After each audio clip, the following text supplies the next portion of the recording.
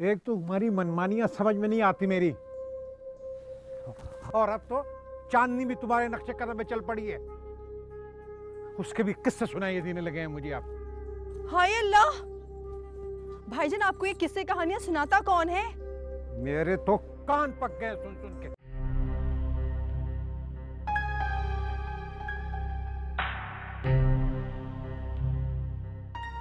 तेरी ते मैं मंजी तोड़ देंगा। चाँद, काला चाँद किथे गया चाँद।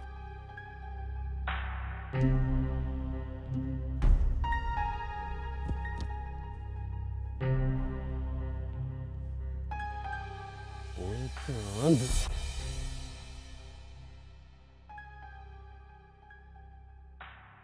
मुझे तुझसे बहुत ज़रूरी काम है। अच्छा पर अगर मुझे तेरे से काम ना हो तो फिर? बात सुन रहे मुझे किसी को कोई चीज़ पहुंचानी है तेरे ज़रिए। अच्छा तो बामू तो नहीं है? ये ना हो कि मेरी दही की तू लस्सी बना दे। ओए ऐसे काम नहीं करता मैं। अच्छा तो फिर किस तरह काम करता है तू? और मेरी मर्ज़ी में किस तरह काम करता हूँ? ज़्यादा किकलियाँ करने की ज़रूरत नहीं है समझ गया? हाँ, मैं समझाऊं तू अपने आप को समझा। समझ गया हूँ। जो भी आएगा ये मांगने उसको दे देना। मेरी मर्ज़ी मैं दूँ या ना दूँ? ज़मीन का चन्न बदतमीज इंसान।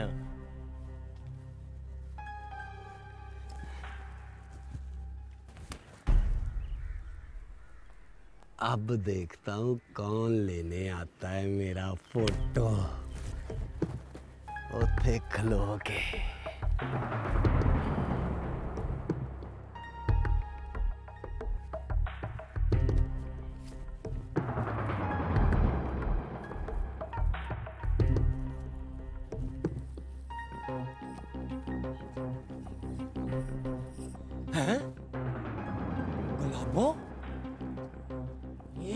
करने आई है।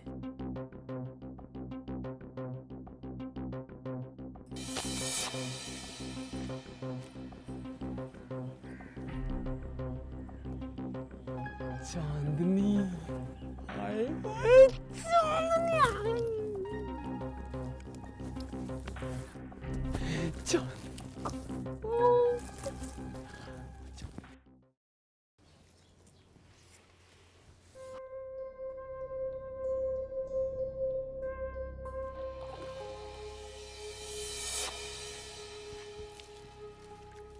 आपने एक बात नोट की? आजकल चांदनी हर वक्त गुलाबों के साथ रहती है। अब तो इसमें नोट करने वाली कौन सी बात? वो तुम्हें तो खुश होना चाहिए कि तुम्हारी बच्ची को एक अच्छी सहेली मिल गई। हम्म सहेली अच्छी भी तो हो। क्यों? तुम्हें क्या लग रहा है? वो बुरी सहेली है? मुझे तो कुछ समझ नहीं आ रही कि चांदनी सोती भी गुलाबों के कमरे में है। गुलाबो उसकी पुप्पो है। पुप्पो कोई पड़ोसन नहीं है। कुछ भी हो। मुझे तो इन दोनों का साथ बहुत खटक रहा है बहुत। तुम्हारा ना दिमाग खराब हो गया है।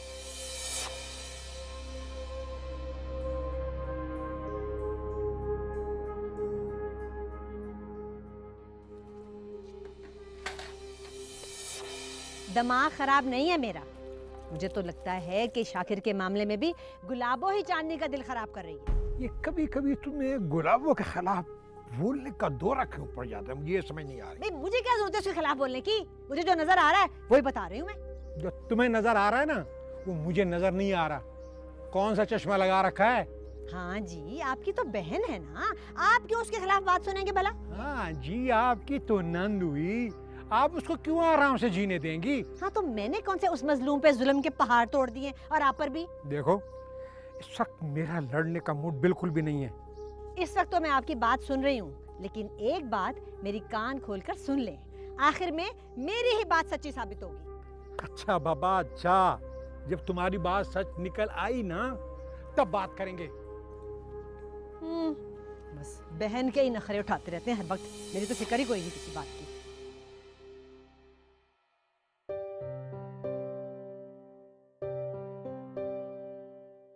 अब्बा को तो यकीन ही नहीं आता कि कोई शख्स बगैर लालच के भी किसी को मोहब्बत कर सकता है। इसलिए कि तुम्हारे डैडी के दिमाग में जो बात अटक जाती है ना वो फिर सटकती नहीं है। लेकिन मैं सच कह रही हूँ मम्मी मैं अपना जीवन साथी सिर्फ़ फराज को बनाऊँगी।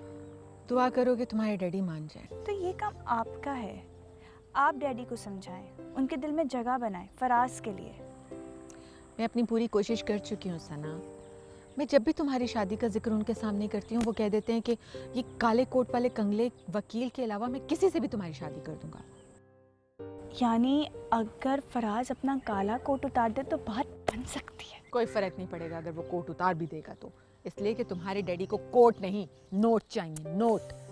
एक तो मुझे समझ में नहीं आता कि डैडी के पास इतनी दौलत है इतना पैसा है फिर भी वो पैसे पे मरते हैं पैसा पैसा करते हैं पैसे पे मरते हैं। सना उनके ख्याल में खाली जेब सिर्फ़ एक मुर्दे की हो सकती है। लेकिन यही तो कह रही हूँ कि आप डैडी को समझाएँ ना कि जब दो नसीब आपस में जुड़ते हैं तो किस्मत खुद ब खुद उनका साथ देना शुरू कर देती है। सना मैं बहुत समझा चुकी हूँ बेटा।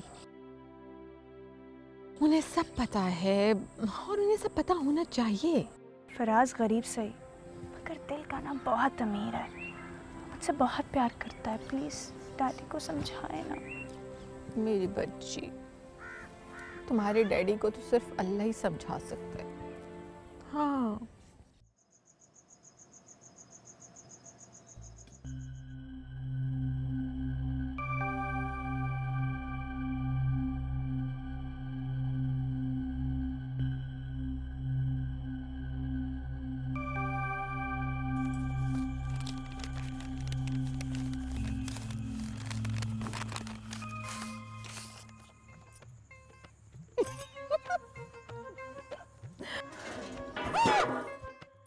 क्या कर रही है तू?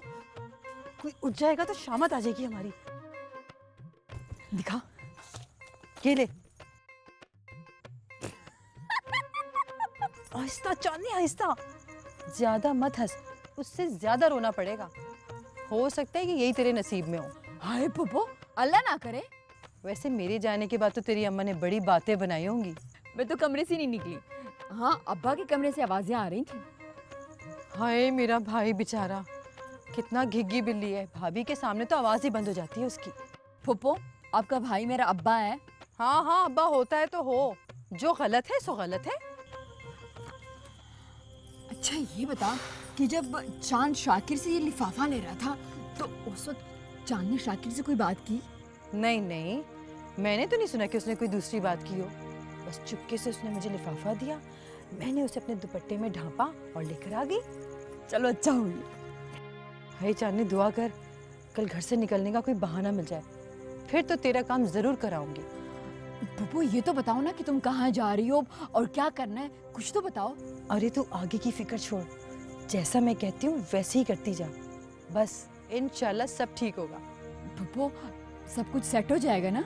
क्यों नहीं होगा? इतनी जान मार रहे हैं पैसा लगा रहे हैं सब ठीक हो जाएगा। फ़िक्र मत कर तू। बस। सब कुछ मेरी मर्ज़ी के मुताबिक हो जाए ना। अल्लाह कर बस तू देखती जा क्या करती हूँ आगे? जरा दोबारा दिखा कैसा बुरा सा है तौबा। ना कर पुप्पो मूंगफली की शक्ल।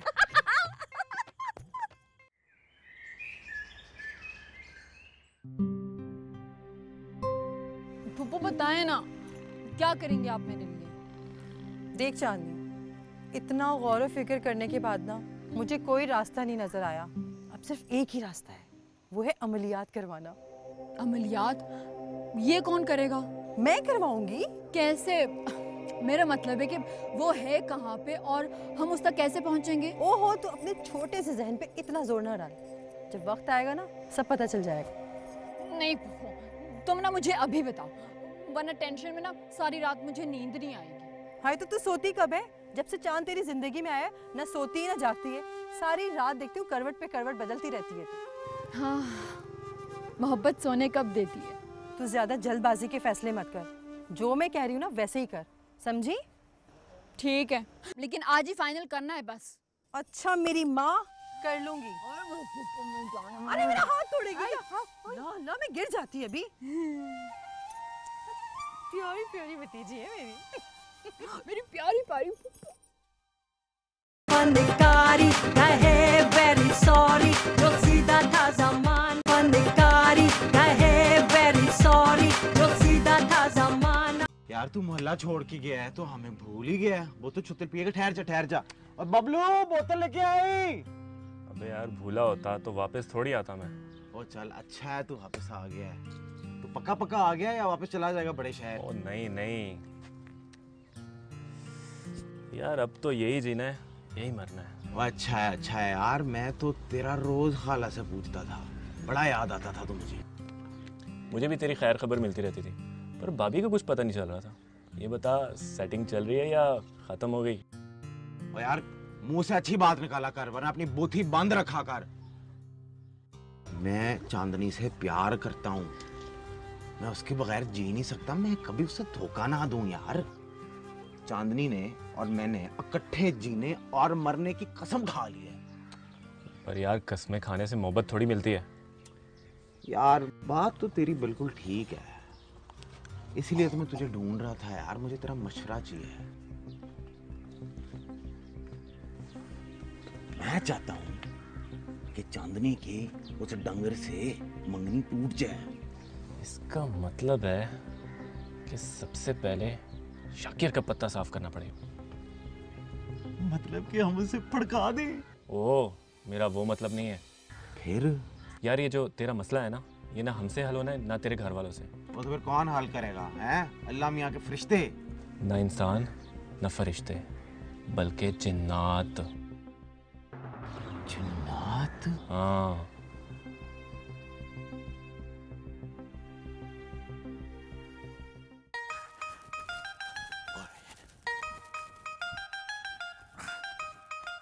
ओ क्या बात है खादिम हुसैन? वो बड़ा निखरता जा रहा है आजकल तू। लगता है गुलाबों की नज़रों ने तुझे फिर से जवान कर दिया है। मुझे लगता है कि तेरी नज़र लग गई ओ नहीं नहीं। ओ मैं जलने वालों में से नहीं बल्कि खुश होने वाले में से हूँ। समझे तुम? गुलाबों से तो अब तक सिर्फ़ काटे चुबे खुशबू तो देती नहीं संग दिल। क्या मतलब? आ, मतलब ये कि तू ही कहता था ना कि गुलाबो मुझे देख के और गुलाबी हो जाती। है? लव जी मेरे प्यार से हाथ रखे तो वो पंजे चाड़ के मेरे मगर पड़ गई। ओ खादिम हुसैन आप भी ना प्यार में नाड़ी निकले हो। क्या मतलब? ओ मतलब ये कि मोहब्बत में ना इंसान को बड़ी कुर्बानियाँ देनी पड़ती हैं। और सिर्फ़ मुस्कुरा के देखना ही मोहब्बत नहीं है। वो मोहब्बत में कभी कभी ना घूर के भी देखना पड़ता है। ये भी मोहब्बत की अदा बन जाती है। अच्छा। ओए साहिर साहब ये आप मोहब्बत का नया फलसफा लेके आए हैं मार्केट में। ये फलसफा नहीं और मैं कौन सा अपने पास से बात कर रहा हूँ? मैं तो आशकों की ज़ुबान बता रहा हूँ। और वैसे मैं एक ऐसी औरत को जानता हूँ जो मोहब्बत में अपने शौहर को खूब पीटती है। अब अब अब अब अब मेरा मतलब है कि मार। हाँ हाँ सच्ची तुम्हारे सर की कसम। तो खमोंद क्या करता है? और खामद बेचारे ने क्या करना है? पिटता रहता है। मोहब्बत जो करता है बीवी से। लानत भेजो है मुझे कोई मापशर्त नहीं करनी। और लेकिन देखो गुलाबो ऐसी नहीं लगती। बस वो तो ये चाहती है कि उसका खादम हुसैन उसके नाज उठाए उसकी नजाकतें उठाए उसके लिए गीत गाए और उसे मनाए। आए आए मैं उसे मनाऊं उसकी नजाकतें देखूँ हाथ लगाने नहीं देती और मैं उसकी नजाकतें देखूँ। देख लो खादिम हुसैन अगर थोड़ी सी हिम्मत कर लोगे ना तो तुम्हारी ज़िंदगी संवर जाएगी। और गुलाबो है भी गुलाब जैसी और गुलाब के साथ कांटे तो होते ही हैं।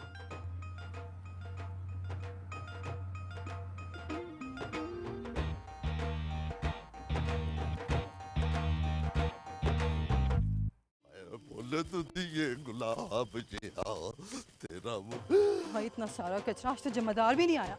आज अतवार है जमादार नहीं आएगा। आप आ गए काफ़ी नहीं है? जी मैं नाम कह रही काम का भी खादम अब ये पकड़े। ये बड़ा भारी कचरा है इसमें। कोई बात नहीं। मैं इसको फेंक के अभी आया। जी। आप पैरों पे पक्की रहना। जी। हाय मैं मर गई। ये तो मेरी मोहब्बत में पागल ही हो जा रहा है। वैसे बड़े काम का आदमी लग रहा है। मैं भी छुड़ती थी इससे। लो मैं आ गया। ये आपका सामान। गुलाब जी को पता न चले कि मैंने कचरा फेंका वरना मरने वाले मुझे कचरा वाला समझेंगे। आप फ़िक्र ही मत करें। किसी को भी नहीं पता चलेगा। खादिम मैं आपका खाद दलदार सो रहा है। अ, जी भाईजान सो रहे हैं। चांदनी सो रही। जी वो भी सो रही है। आ, आ, मुझे भी नींद आ रही है। मैं भी सोने जा रही हूँ। आप भी सो जाएँ।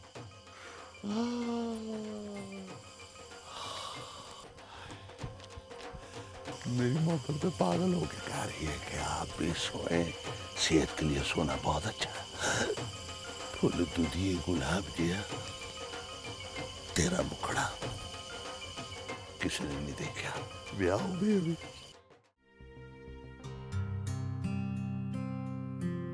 तौबा तौबा, इस आदमी ने तो दिमाग खराब करके रख दिया है मेरा। हाय तू क्यों मुँह फुला के बैठी है? खैर तो है। तुम भी तो गुस्से में आई हो। तुम्हारे साथ क्या हुआ? मुझे तो वो तेरा सुसर मिल गया था। ऐसे कोई फ्री हो हो के मुझसे बातें कर रहा था जैसे मैं कोई उसकी पुरानी गर्लफ्रेंड हूँ। वैसे बड़ा ही ढीठ है ये खादिम। अब फूफू आप बताएँ ठीक है? ये इस तरह के शख्स की औलाद से कोई शादी कर सकता है हाँ? और जब बाप ऐसा है तो बेटा कैसा होगा हाँ? तो फ़िक्र मत कर चांदनी। मैं भी ऐसा चक्कर चलाऊँगी ऐसी बंदिश कराऊँगी शाकिर पर कि इस घर का नाम लेने से भी कांपेगा वो। है पप्पो? ऐसा हो सकता है? हाँ हाँ हो सकता है। बस एक बार मुझे बाबा के पास जाने दे फिर देखना। तो फिर देर ना कर। नेका में जल्दी करनी चाहिए। हाँ बस जुमेरात आने दे। फिर देख ऐसा काम करवाएगी ये गुलाबो कि गुलाबो नाम नहीं मेरा। हाँ। जब शाकिर का रास्ता बंद हो जाएगा ना फिर हम ना चाँद के लिए रास्ता हमवार करेंगे ताकि अब्बा के दिल में ना उसके लिए गुंजाइश हो। और वो चाँद के लिए हाँ कर दे। हाय जुमेरात भरी मुराद सबकी ख्वाहिशें पूरी होंगी। पप्पो घर से बाहर जाना है तो पहले से कोई बहाना सोच ले। ये ना हो कि एन वक्त पे अम्मा ना रंग में भंग डाल दे। देख मुझे ये काम बड़ा चुपके चुपके करने दे। वैसे तेरी माँ हम दोनों से चिड़ी हुई है कि फुप्पी भतीजी में बड़ा याराना चल रहा है। तो अम्मा का कौन सुनता है? तुम बस अपना काम करो। तो फ़िक्र मत कर देख मैं क्या करती हूँ। परम ऐसे दिखाता है जैसे शहर का दादा हो वो उसकी गुद्दी के नीचे रखू ना एक तो सारी आकर भूल जाए साली ओ, किसकी गुद्दी याद आ रही है तुझे चाचू? और तेरे होने वाले ससुर को कोस रहा हूँ।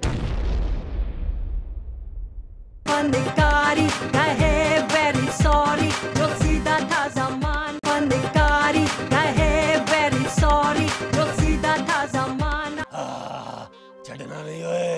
ओए छड़ना नहीं छड़ना नहीं। ओए साकर ओए क्या बात है आज तेरे पाँव आसमान पे? बाबा मैंने कसम खाई है कि चाँद से अपनी बेसी का बदला लेना है मैंने आ, पहले अपने आप को सीधा तो कर सीधा करो ए। मनु